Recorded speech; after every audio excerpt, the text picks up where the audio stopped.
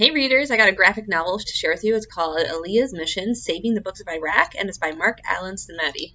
Now, this was a really cool historical nonfiction graphic novel all about something that really happened in 2003 um, when Iraq was getting bombed and under attack. Um, one of the main libraries there was at risk. You know, people started like, you know, trying what they could to save all their precious like heirlooms and lock up and flee town if they could. But like one of the main libraries um, was right in the center of everything and in like deep, deep trouble. So the head librarian actually uh, started smuggling out books because the library got set up as like an operation base, a military operation base, which she was like, I know this is going to make it a target.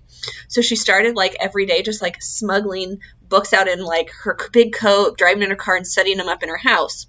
Well, that worked for a little while, but then like the thing got things got more urgent.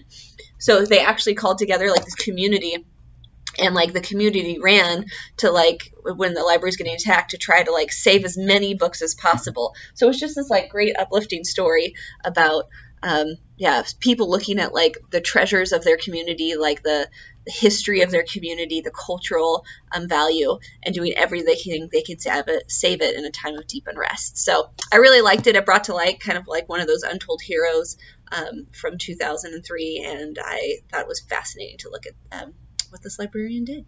Enjoy.